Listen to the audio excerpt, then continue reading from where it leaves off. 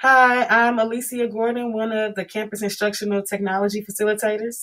And I'm Chris Sumner, I'm the other one. Today we're going to talk to you about how to use modules to create assignments and bell ringers as we transition towards Braves ID over the next few days.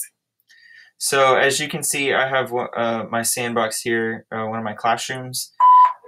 Can I get Madison Cardell to the office, please, and Yuvia Sanchez? Madison Cardell and Yuvia Sanchez. Thank you. I have one of my uh, sandbox classrooms right here, and we're going to use this as, as an example. We're first going to show you how to create modules, and I like to organize mine by week.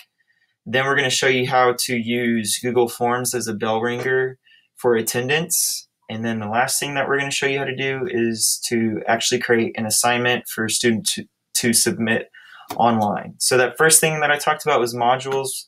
So we're going to go over here and click on modules. And like I said, I like to organize mine by week. So the week that we're in right here is week three. All you have to do is click module, type in the name, and then add module, and it'll pop up right here. Um, this is I like weeks because I think it helps the kids see exactly what they need to get done, and you can kind of organize things in a stepwise fashion with modules.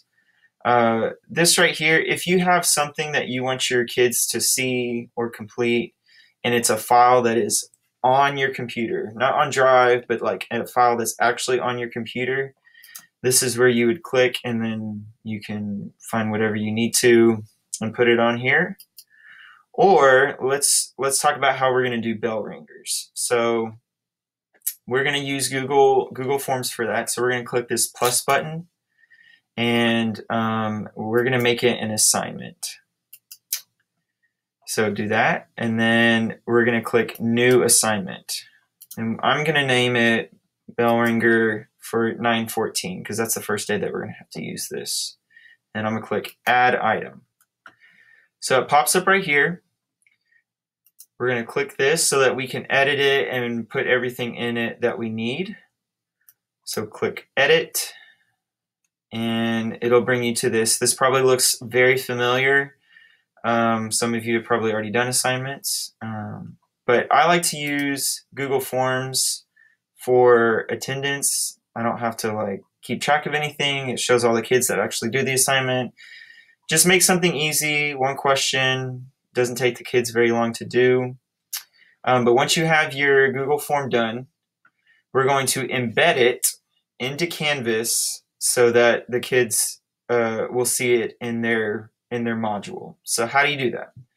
We're going to go over here to send, click that, and then we're going to go over here to this embed uh, icon right here. This is going to be the uh, the text that you're going to need to post into Canvas. So click this and click copy, and it's in your clipboard. So we'll go back to Canvas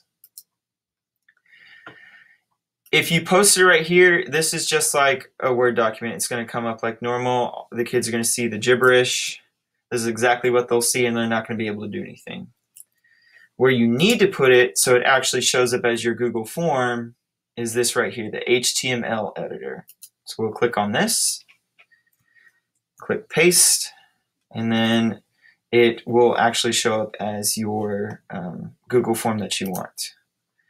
As you can see, I switched back and it shows up with the bell ringer that you would want to use. My dates don't match, but oh well. And so we're gonna move along. Um, if you want to take like a grade for this, you would have to change these points, but I don't really need a grade for my bell ringers, so I'm gonna leave it at zero. Like I said, if you want to actually take a grade for it, you would change this to 100. And then assignment group.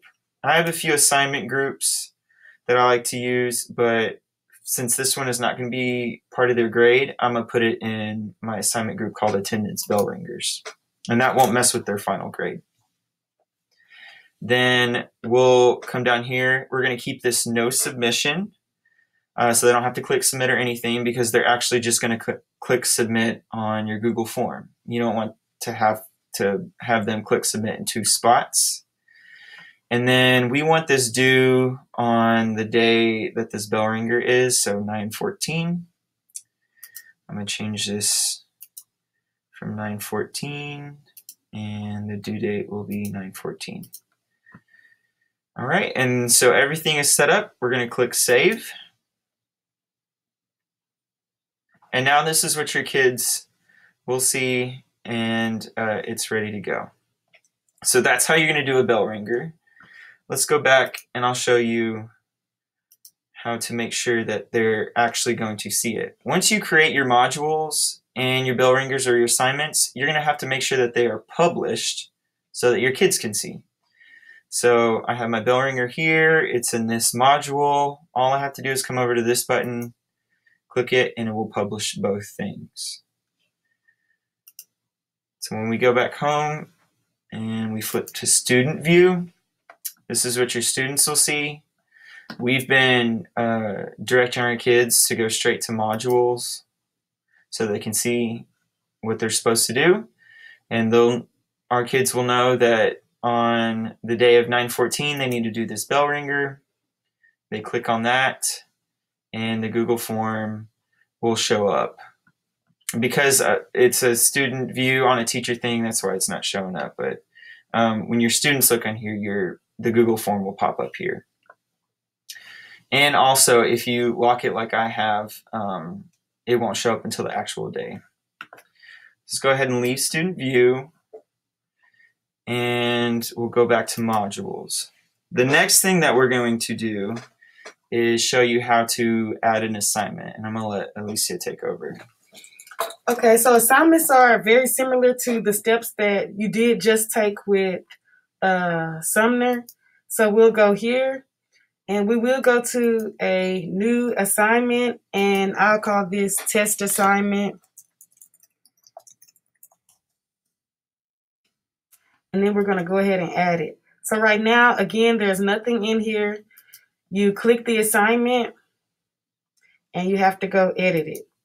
So the way that uh, Chris was able to show you was if you were was if you embedded a tool for them to use, for this one, we would like for them to use Canvas as the only, the one-stop shop that they will go to. So if you were creating an assignment, here in this text box, you'll have your directions. So you would type your directions here. Uh oh And those are the directions that the students will see. I'll go ahead and give this a point value because I'll take a grade for it in the, the grade book. And then here, instead of it being no submission type, we'll have an online submission type. So there are uh, several online submission types that you will use if you would like for them to use. Can I get Jose Rodriguez with his things to the office, please? Jose Rodriguez. If you would like for them to upload anything from their Google Drive or anything like that, you they can do that from this tool. So that is an automatic thing that they'll be able to do as long as their Google Drive is linked, which they should have done by now by authorizing it. So here I've had them do a text entry where they can fill in a box that looks very similar to this box located up here, or they can upload something. They can upload something. So you can also decide if you want them to only be able to submit this once or twice, you can limit that and decide how many times you want them to submit it or you can keep it unlimited. That's up to you. Since we are moving through the A day and B day, you can change this if you want it. If you have your other courses here, you can assign it to certain courses on some days and certain courses on the other days. But I like to keep it simple and just assign it to everyone. And then we'll give it the same due date that 914 and make it available on let's make it available today so we can see what it looks like until 914 and then I'm going to just save it. So when I save it that did not publish it it just allows me to view it. It allows me to view it. So this is what the students will see. When they when they log in they'll see it like this. So I know you're wondering well how can they Vasquez with her things to the office, please? Stephanie Vasquez. How can they upload it? We're going to show you that when we go back to show you what the student view looks like. So I'm going to go ahead and publish it so that it can be seen on the student view. If it's not published, the students cannot see it. So I'll go back to modules and I'll go to my test assignment. Oh, I have to go to student view. I'm in the student view. I go to modules, which you will direct them to do, and I'll go to the test assignment. Now they'll still just see this until they press submit assignment. Okay. When they press submit assignment, it'll show them these multiple options. So they can do the text entry box, which we offered, which I said looks exactly like the box that you saw, or they can find something in their Google Drive that they like to upload. So they can use either of these two tools. And if they already have a file on their computer, they can also upload that here. So these are the different ways that, that they'll be able to use it in your classroom. And then they would press submit assignment. When it's complete, they press submit assignment and it'll immediately go to you for you to grade.